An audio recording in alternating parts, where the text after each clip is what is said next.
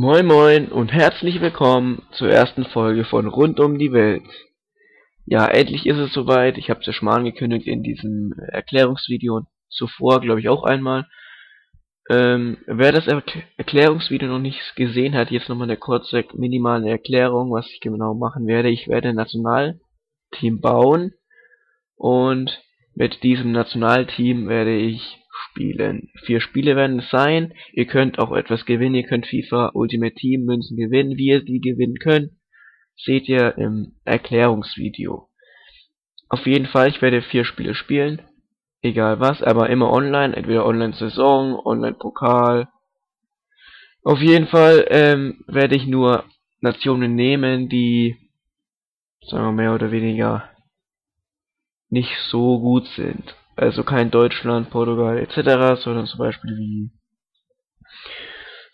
sowas wie, wie, keine Ahnung, Australien oder so. Also nichts, was es schon zu oft gibt auf YouTube. Jo, dann würde ich sagen, ähm, na, ich muss noch was sagen, ich kommentiere das jetzt alles nach, eigentlich wollte ich den Anfang un unnachkommentiert lassen, deswegen, äh, ist es jetzt ein bisschen blöd, wenn ich meine Mannschaft vorstellen werde, was jetzt gleich passiert, nämlich jetzt stelle ich meine Mannschaft vor. Und so, jetzt gehen wir ins Team rein. Ja, ihr seht schon, rechts oben, äh, der Teamname ist Bosnien HH. Und wahrscheinlich seht ihr es auch auf dem Thumbnail. Ähm, ja. Meine Mannschaft ist Bosnien-Herzegowina.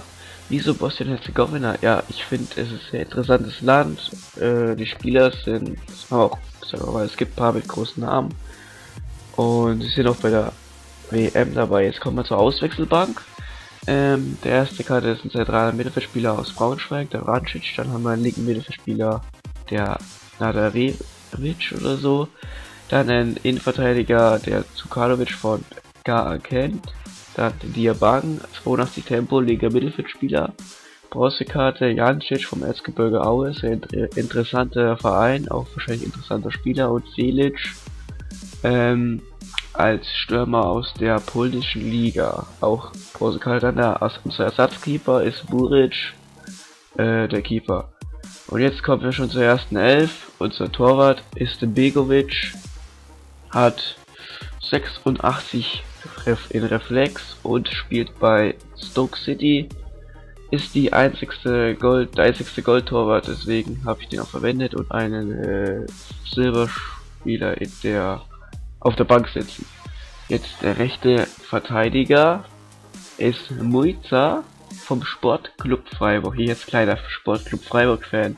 Bin natürlich auch Fan von der Mannschaft, von dem Spieler. Ähm, Tempo ist okay, die Verteidigung ist okay. Und das passen auch. Also was auf meiner Meinung nach ein Außenverteidiger braucht, hat er auch ganz akzeptabel. Dann der erste Innenverteidiger Spahic von Bayern 04 Leverkusen. Ähm, er ist noch älter als 34 oder 33 Jahre alt. Ähm, hat zwar einen guten schwachen Fuß, aber seine Werte sind nicht so überzeugend.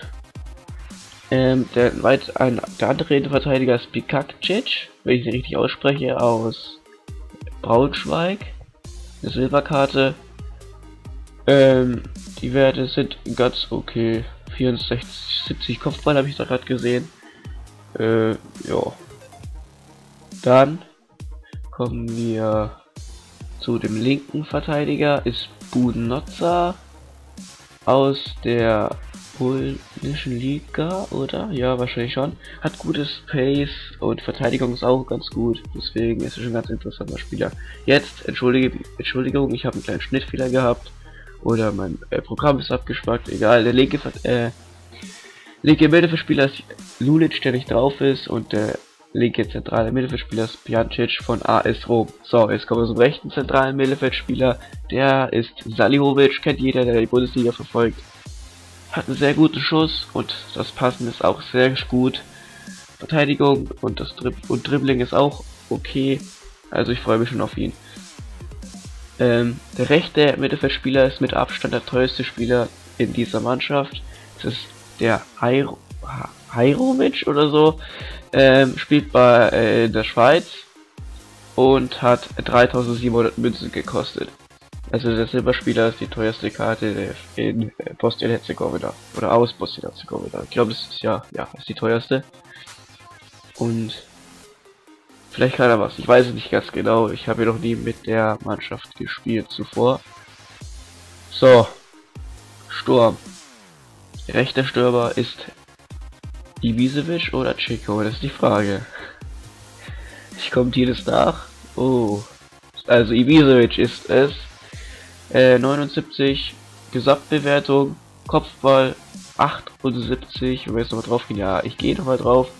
Dribbling ist okay, der Schuss ist 76, ist auch ganz okay, passend und Tempo ausbaufähig. Und der, ich sag mal, Star der Mannschaft ist natürlich Edin Dzeko von Man, nicht Man U, ich sagen Man City. Hat, jeder kennt natürlich aus der Zeit bei Wolfsburg, da wurde der zweimal, einmal wurde der Meister und zweimal wurde er, ja, Torschützenkönig. Und ich würde sagen, wir gehen jetzt auch gleich zu den Spielen über. Also bis dann. Ja, eigentlich sollte jetzt das erste Spiel kommen. Das erste Spiel habe ich gespielt und verloren, aber meine Aufnahme ist irgendwie verloren gegangen. Ist jetzt aber auch egal, ich zähle es einfach als Niederlage, weil ich ja verloren habe. Und ihr seht, das erste Spiel spiele ich im Online-Pokal gegen so ein Team, das CR7 Justin heißt oder so. Das ist, glaube ich, der Starter-Pack, mit dem er spielt. Drei Goldspieler, ein Silberspieler und der Rest nur Bronzespieler. Dann Lobusch mit dem Fehler Lulic von links in die Mitte, Ibisevic schließt ab und der Torwart hält diesen Angriffsversuch von mir. Salihovic mit der folgenden Ecke, Kopfball, Checo 1 zu 0, vierte Spielminute.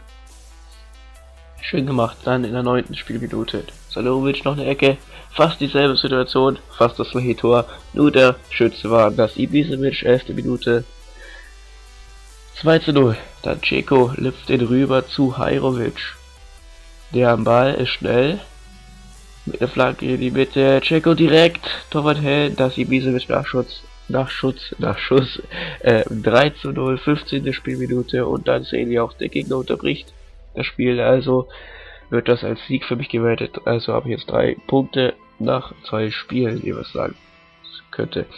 Nächster Gegner ist Bosna Elite und man sieht, er hat genau die gleiche Mannschaft wie ich, exakt. Das ist so ein großer Zufall. Ich weiß nicht, wie das dazu gekommen ist, aber er hat genau die gleiche Mannschaft wie ich. Edicheco auf Bjancic. Der am Ball ist nicht der schnellste, kommt aber durch. Flanke von links, Latte Chico, äh, Ibisevic Flanke, Latte und Chico mit dem Nach. Kopfball 1 zu 0. Dann der Gegner von Chico auf Ibabo und der eingewechselte Ibabo vergibt. Erstmal, aber dann, ich bin beim Fehler, Pjancic Gegrätscht, Chico auf Saliovic und Begovic hält die Bude fest. So. Dann der Gegner mit Saliovic, Fehlpass, Pjacic beim Kopf, Hajrovic, Abal Hajrovic mit links, Außenpfosten. Und zur Pause steht es auch 0 zu 1 für mich. Dann 58. Spielminute. Edi Chico Guter Pass auf Vedat Ibisevic. Vedat Ibisevic muss den Sack zumachen. Vedat Ibisevic vergibt diese Großchance. Dann ich nochmal Hajrovic. Hajrovic zieht rein. Hajrovic mit der Flanke. Ibisevic Kopf 2-0. 70. Spielminute 2 zu 0. Dann habe ich gewechselt. Nadarevic, Racic und Zukanovic kamen für Bikacic, Lulic und Pjancic ins Spiel. Der Gegner in der 90. noch mit dem 2 zu 1 durch Victory Babo, aber dies änderte nichts an meinen Sieg. Ich habe wieder gewonnen. Sechster Punkt im dritten Spiel. Ibisevic und Chico spielen das. So, jetzt seht ihr auch schon, ich habe schon das Viertelfinale gespielt. Ja, es hat mal wieder meine Aufnahme ein bisschen rumgeschragt. Entschuldige mich dafür, ich habe gewonnen, deswegen wird es als Sieg gezählt. Nur wenn ich verliere, wird es nie lange gezählt, deswegen spiele ich jetzt auch gleich das Halbfinale. Mein Gegner ist Plymouth. Und ich hatte wieder einen kleinen Schnittfehler. Das ist jetzt aber nicht zu beachten. So, mein Gegner ist Hütecht, A-Ort oder so. Und kommt auch gleich mit der äh, ersten Chance nach der Ecke, Kopfball. Und ich dann äh, über links. Chico. Checo mit Abschluss, guter Abschluss, Ecke, die anschließende Ecke. Saljovic auf den Kopf von Edi Checo und dann steht es mal wieder 1 zu 0 Edi Checo nach der Ecke, wie schon so oft. Der linke Verteidiger benutze auf Edicheko. Was macht er? Edicheko zieht die mit 334. Edicheko. Da steht 2-0. Edicheko richtig klasse gemacht. 35. Minute. Dann kam Jancic, Diabang und Felic in die Partie. Dann der neue Diabang auf Jancic. Auch ein Joker. Äh, ein äh, einge äh, eingewechselter Spieler. Mit dem Schuss Torwart hält. Aber zur Halbzeit steht es 2 0 für mich. Dann nochmal der Gegner äh, ich, äh, Jancic mit einem sehr, sehr, sehr, sehr weiten Lauf. Jancic, Jancic läuft, läuft, läuft, läuft, läuft, läuft, läuft, läuft, läuft, läuft, schließt ab mit links. Und da ist er drin. Und da ist er drin. Und da steht's auch 13.06 und 66. Spielminute. Ihr seht's. Gleich danach bricht mein Gegner ab. Und das heißt, ich habe das Spiel 13 0 gewonnen. Jancic, richtig schönes Tor. Und das waren auch die vier Spiele im Prinzip. Eins ist ja leider nicht drauf gewesen, das tut mir leid. Ähm, ja, jetzt kommen wir zu meiner Schlussfolgerung Fazit oder so. Das habe ich mir auch vorgestellt, dass ich am Ende der äh, vier Spiele sagen werde. Ähm, wer am besten war, wer, äh, was, wie viel Belohnung es gibt, äh, Statistik, also wer, wer wie viel Tore geschossen hat, wer das beste Spieler ist oder war, ist besser gesagt. Und ähm, dann blende ich nochmal das schönste Tor ein und ich äh, ja. Tore haben geschossen. Edi Ceko hat vier geschossen. Ibisevic hat drei geschossen. Jancic hat eins geschossen. Somit sage ich jetzt auch ganz mal schnell, Chico war der beste Spieler für mich, vier Tore geschossen. Ähm, dann noch kurz zum Fazit der Mannschaft. Sie ist äh, Fazit, ich weiß nicht, ob man das überhaupt so nennen könnte, aber auf jeden Fall, sie sind sehr gut nach Ecken, halt sehr gut in der Luft mit Kopfbällen, hat auch gesehen, ich hab's, ich glaube, mehr als die Hälfte äh, per Kopf erzielt vor den Toren. Und ja, über Flanken sind wir da sehr stark. Auch Saliovic, richtig tolle Ecken reingebracht. Jo, was gibt's noch anzumerken? Genau, äh, das, äh, die Belohnung, genau, die Belohnung, ganz wichtig. Wie viel gibt es heute zu gewinnen? Wenn ihr, äh, wenn ihr richtig alles verstanden habt, 3000 Münzen bekommt irgendjemand heute, wie ihr euch dafür bewerben, bewerben könnt, wie ihr die bekommt. Schaut das Erklärungsvideo an. Das ist das letzte Video, was ich hochgebracht habe. Und dort seht ihr dann, wie ihr die 3000 Münzen gewinnen könnt. Und letztens ist das schönste Tor der Episode und das ist von der Bronzekarte Jancic aus Erzgebirge Aue. ich verabschiede mich damit, ich spiele es jetzt noch am Ende ein. Viel Spaß beim Tor, Servus, macht's gut und ciao.